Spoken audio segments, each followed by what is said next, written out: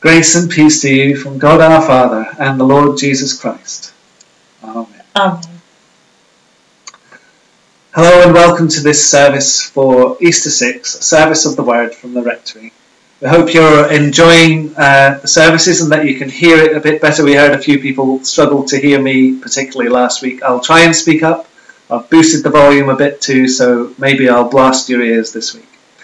Anyway, we'll start our, our service with the, the first of our hymns, uh, Immortal Invisible.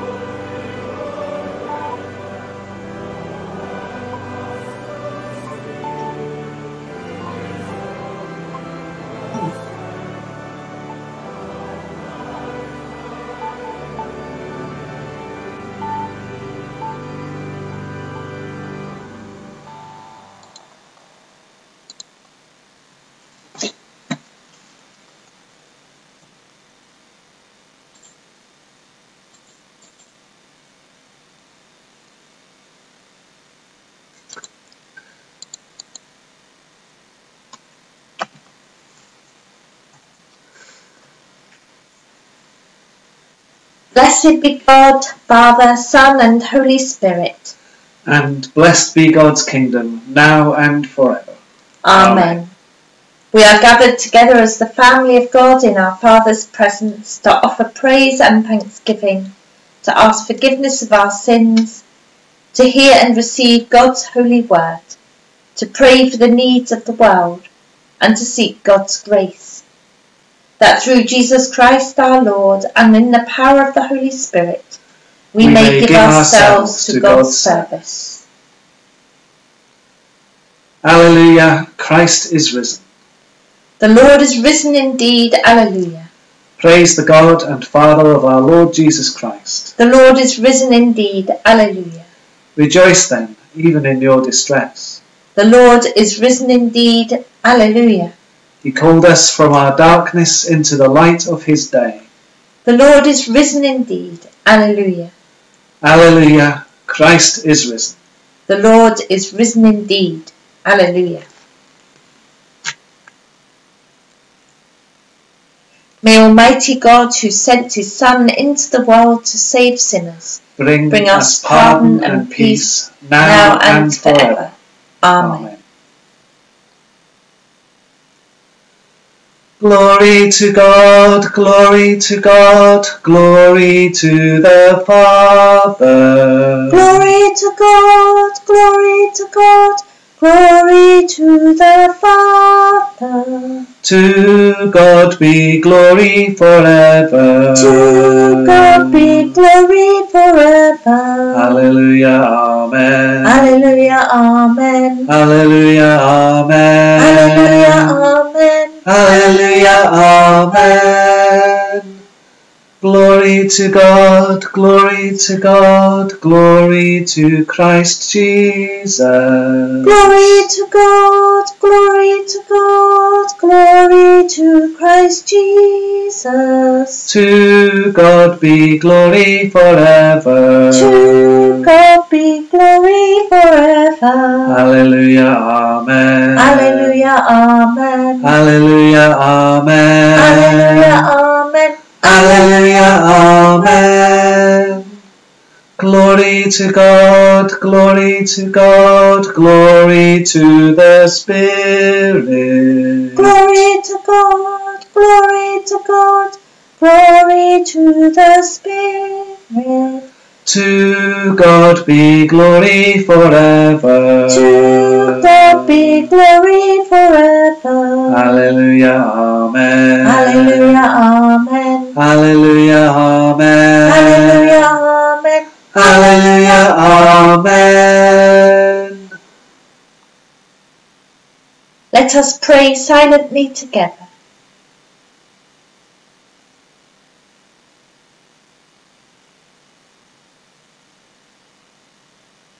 O God, from whom all good things arise, grant such grace to those who call on you, that by your inspiration we may ponder those things that are right, and by your guidance do them.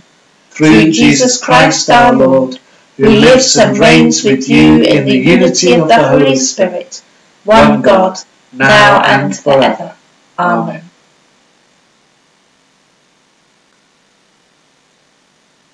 A reading from the book of Acts, chapter 17, beginning at verse 22.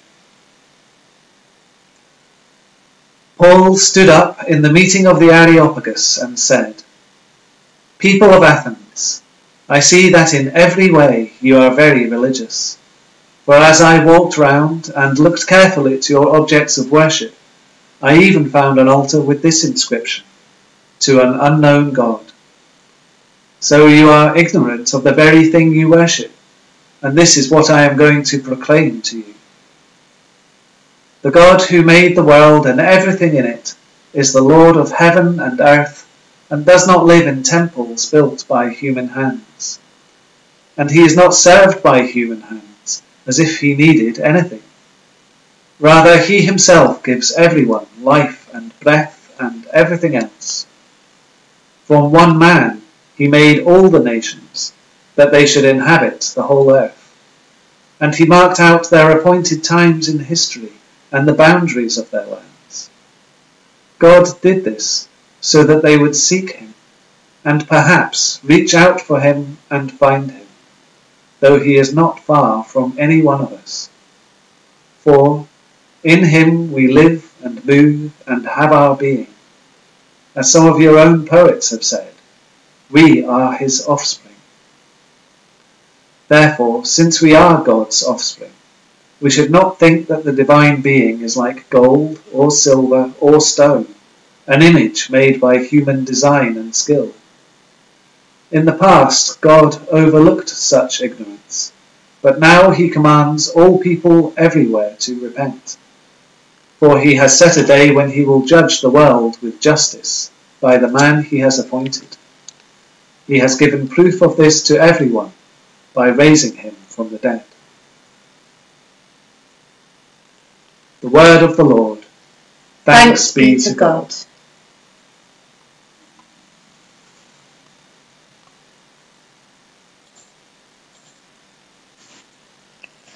Just to put the reading that we've just heard in context, Paul is on his missionary journeys around Greece and the Mediterranean when he ends up in Athens waiting for Silas and Timothy to join him. It was a difficult place for Paul to be, Athens. In the words that come before the reading we've heard today, we've been told that Paul has been greatly distressed to see that the city was full of idols to many gods. But undaunted, Paul has been teaching about Jesus and the resurrection in the synagogue and in the marketplace. This concerns the Epicurean and Stoic philosophers there, and so they have brought him now to a meeting of the Areopagus, the Council of Athens. We're told that people loved to bring the latest ideas there to discuss and debate. Paul's words to the council are striking in their graciousness. He doesn't dismiss their culture and ideas, he doesn't condemn them, but is generous and respectful. In speaking of God, he starts by referring to their own religious icons, saying that their unknown God is the God he is speaking of to them. He says that the God they think they know does exist, and he is no less than the God who made heaven and earth, the one who has given life to everything and everyone, who has set limits on the earth and holds history in his hands. Paul says that this God he is speaking of created and established everything in order that all would seek after him and find him, because he is not far from anyone. And finally, he uses words from the Greeks' own poets to say powerful things about God. In him we live and move and have our being. We are his offspring. And Paul's message must have resonated with at least some of them because we're told that some of them wanted to hear more. They invited him to say more. And this was a place, as I've said, where people gathered to hear the latest ideas. A place of many competing truths and beliefs. A place where those who sought after truth gathered and brought their case. So there were the Epicurean, Epicureans and Stoics that I've mentioned. The Epicureans who believed that happiness was the ultimate goal, and the Stoics who believed that contentment lay in avoiding joy and pain. So these Greeks that Paul um, were, was addressing sought after truth and believed they had answers, whether it was pursuing happiness or simply being content. They believed they had at least part of the truth, but they sensed there was more. In their discussing and the debating, they wanted to know the whole truth. And there was a God who they felt existed but was unknown to them. Paul was able to say to these people, This God, the one of whom I speak, is the one you have been searching for. He alone is the creator of heaven and earth, the originator of all things. Therefore, he alone is able to overcome death, and he proved it by raising Jesus from death. I wonder what we can learn from Paul's example of how to speak of God in contexts where he is unknown. We ourselves live in a world of competing truths where people seek after the latest thing, whether it's a material possession or some escapist pleasure, philosophy, or a rule of life. Indeed, people will spend a lot of time and effort um, and money to get fulfillment and meaning in their lives. In this time of crisis we're in, however, many of those things may not be available to people or may not hold the same attraction. This is a time of uncertainty as we know about the future. Opportunities are limited, plans have been scuppered. It's a time when many may be asking themselves, how do I find fulfillment and meaning and truth again in this very different world? And as Christians, I believe we have something to offer them. And we might, may find ourselves at this time being asked more often why our faith matters. Particularly in this time of crisis, we may find opportunities to speak of our faith to those seeking after fulfillment, meaning, truth, answers. our family members, our friends, our colleagues. As the Apostle Paul, uh, sorry, Peter wrote, always be prepared to give answers to everyone who asks for the reason for the hope that you have, but do this with gentleness and respect. As Paul was, we are called to be gracious and generous in how we speak of our faith. But we can speak as Paul did of the God who gives life to everyone and cares and cares about everybody and everything that he made. The God who suffers with those who are in pain, sickness or distress. The God for whom each and every one of us is special. Each and every one is a child loved and valued by God. And particularly important in this time when the fear of death may hang over many, we can speak of the God whose Son overcame sickness and death and is raised now to eternal life, an eternal life shared by all who believe in him. And we can start by praying, praying for those who we know that they will reach out for God and find him in those words of Paul, praying for opportunities to speak gently and graciously of our faith to those who need to hear those words, for those who need to hear the words of hope offered in Jesus. My hope and prayer daily is that many will, in those words of Paul, reach out for God and find him, as he is not far from any of us.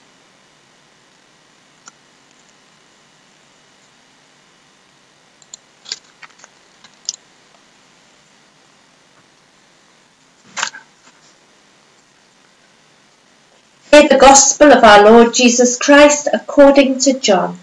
Glory to Christ our Saviour. Jesus said, If you love me, keep my commands. And I will ask the Father, and he will give you another advocate to help you and be with you forever, the Spirit of truth. The world cannot accept him, because it neither sees nor knows him. But you know him, for he lives with you and will be in you. I will not leave you as orphans. I will come to you. Before long, the world will not see me any more, but you will see me. Because I live, you also will live. On that day, you will realize that I am in my Father, and you are in me, and I am in you. Whoever has my commands and keeps them is the one who loves me. The one who loves me will be loved by my Father, and I too will love them and show myself to them. Give thanks to the Lord for his glorious gospel. Praise, to Christ our Lord.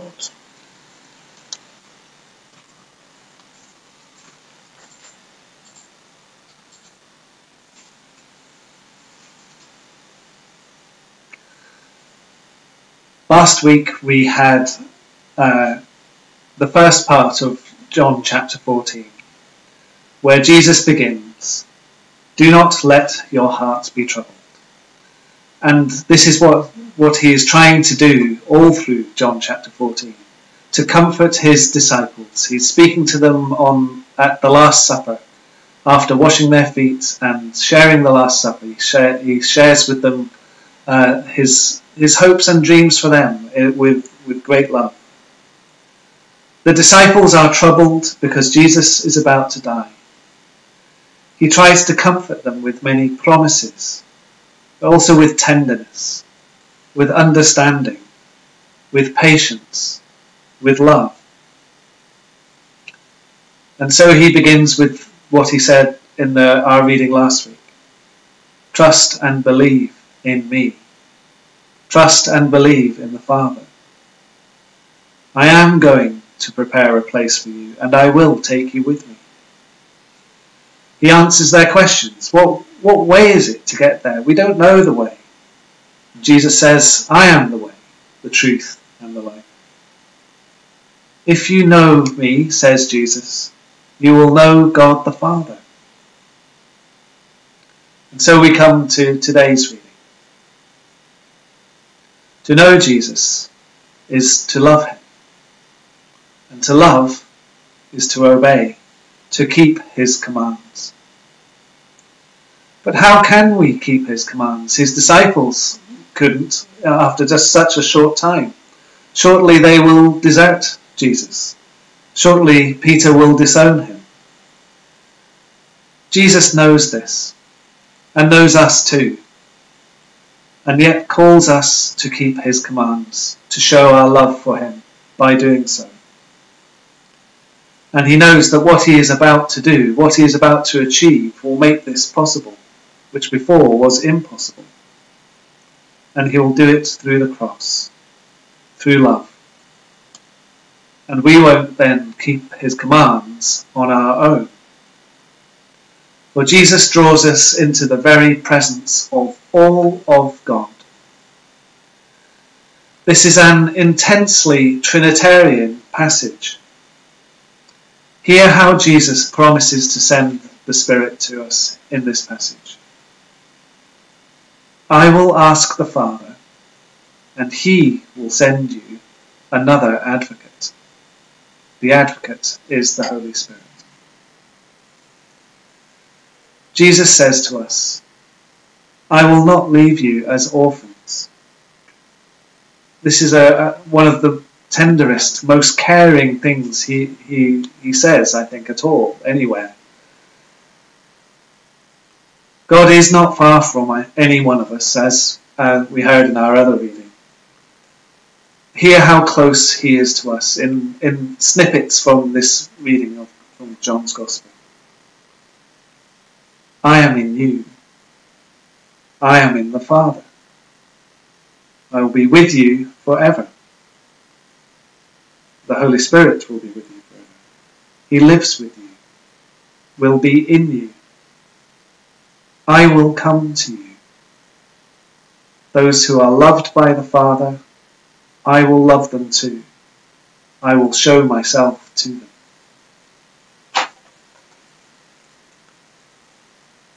This is God's tender love for us revealed in the Son, through whom we see the Father, and who sends us the Spirit. The Spirit here is called the Advocate, and there is an important word before it says that the Spirit is the Advocate. But Jesus says that you will be sent another Advocate, not less than the one that we already had at the time not less than Jesus, but equal to Jesus. The Holy Spirit, who is nothing less than the life breath of the exalted Jesus, in us. As our breath is in us, so the Spirit is in us. As our breath gives us life, so the Spirit gives us life. Life to the full, as we were hearing just a few weeks ago. The word that's translated as advocate uh, has, has been translated in many different ways in different Bible translations. So the one we have today is from the NIV, the New International Version, and it says advocate. But in other translations, the Spirit is called counselor, helper, teacher. I think it is good that the Spirit is called all these things, for that all these things are who he is. He is all of counselor. He tells us, uh, he guides us in the way that we should go. He is our helper, guide, telling us uh, where we go wrong and giving us strength to, to go the right way. Our advocate. The Spirit speaks up for us before God, tells us the truth of what God really thinks of us the Spirit teaches us, leads us into all truth. The Spirit exhorts us to live the way we, we can, to follow God's commands. He comforts us when we fail. He entreats us. He encourages us. He urges us forward. The Spirit is truly another advocate. That is, one just like Jesus but with us all the time. The Spirit is God fully with us. we're not fobbed off with something second best. Sometimes I think people would wish for Jesus to be with us. Well, he is. He's with us by his Spirit. So, whatever is happening, hear Jesus' words to us today. Do not let your hearts be troubled. Jesus has not left us alone as orphans, but has drawn us into life and is with us and in us. We are in him. He is advocating for us by the Spirit. Amen.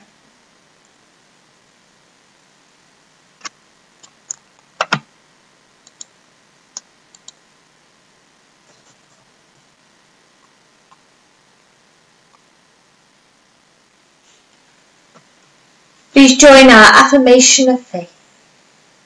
Let this mind be, in you which was in Christ Jesus. The divine nature was his from the first, yet he did not grasp at equality with God. He emptied himself and became like a slave. Taking the nature of man, he was revealed in human form.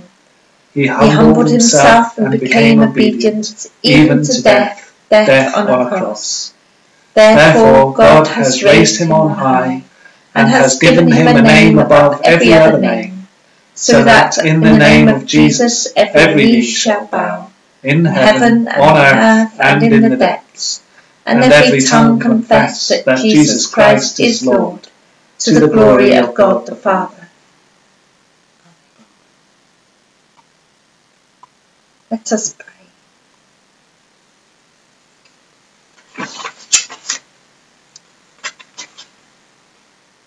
Lord God, thank you that you have not left us alone. Thank you that you are always with us by your Spirit, that you are so fully and completely with us. So we would pray for those who feel alone, that you would make yourself known to them in whatever way you wish to, through neighbours, through friends, Father, do not let anyone be, be alone at this time. May they receive all that they need in terms of friendship and love. Lord, in your mercy, hear our prayer. We pray for your world. We pray that your love and life would shine out into every corner. That you would give wisdom to those who are leading the nations to know when to lock down, how to come out of lockdown, how best to do this, balancing all the needs and worries.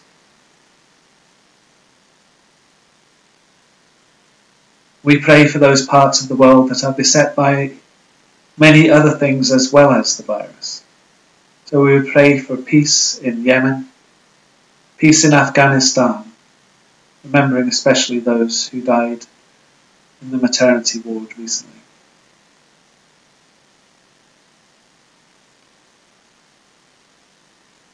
For peace in every corner, that they would know your power to heal our hearts. Lord, in your mercy. Hear our prayer. For your church too, with, with the challenges that we face, may you bring many opportunities to share faith with others. We pray for a blessing on all the services going out on the internet. We pray for the individual contacts that we have, that we would share your good news really well that you'd give us the words to say and help us to notice the opportunities that you give us and to share with, with grace and love your good news that you are with us. Lord, in your mercy, hear our prayer. And we would hold before you now those who are sick or ill or worried. We pray that you would bless them with your presence and we name them before you in silence.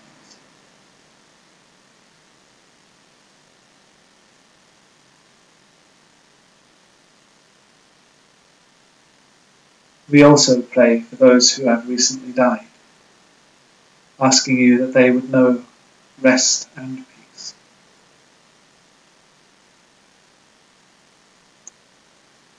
Lord, have mercy. Christ, have mercy. Lord, have mercy. Our, Our Father in heaven, hallowed be your name. Your kingdom come. Your will be done on earth as in heaven. Give us today our daily bread. Forgive us our sins as we forgive those who sin against us. Do not bring us to the time of trial, but deliver us from evil. For the kingdom, the power, and the glory are yours, now and forever. Amen.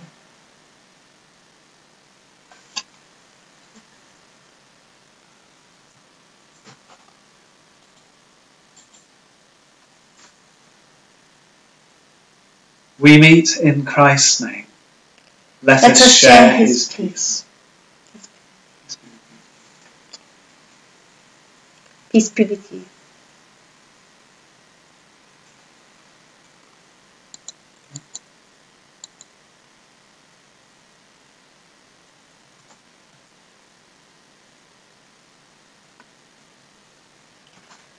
This is the day that the Lord has made. Let us rejoice and be glad in it.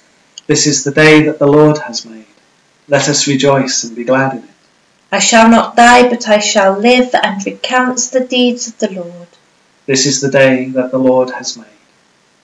Glory to the Father, and to the Son, and to the Holy Spirit. This is the day that the Lord has made. Let us rejoice and be glad in it. Almighty God, we thank you for the gift of your holy word.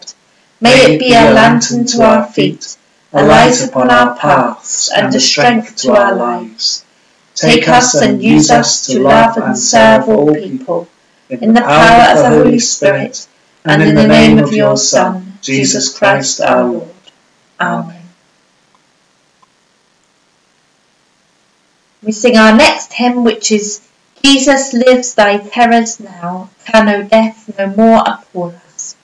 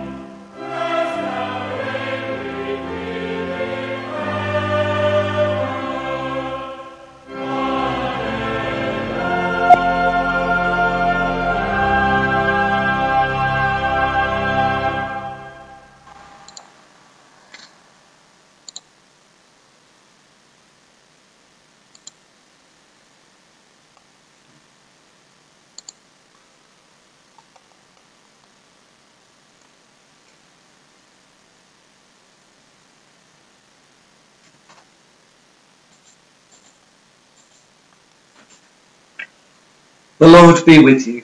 The Lord bless you. Let us bless the Lord. Thanks be to God.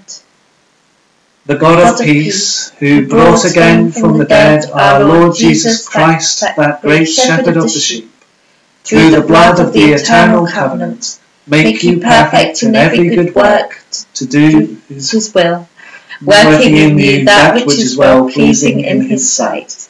And the blessing of God Almighty, the Father, the Son, and the Holy Spirit be upon you and remain with you always. Amen. We'll leave you now with a, piece of uh, music that was recorded by uh, churches across the UK. You may have seen it already. It's the, the UK Blessing. Um, it, it's a seven minute thing, but it's, it's really nice. So I hope you enjoy it.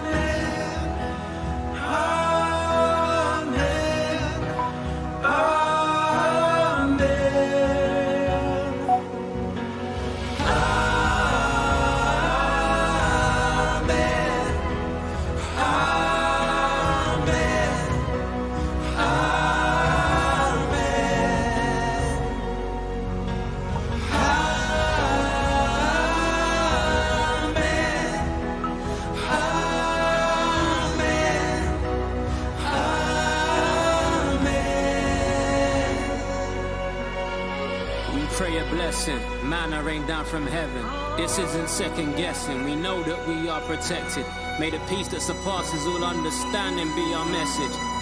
Grace and favors in your nature, in your essence. May His favor be upon you and a thousand generations, and your family, and your children, and the children, and the children.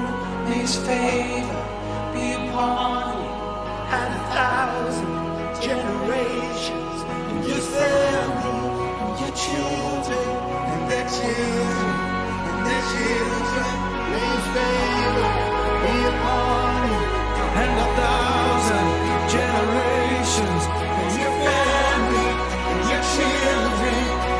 children, and their children. May His favor be upon you and your family, and your children, and their children, and their children. May His presence go before you and behind you and beside you.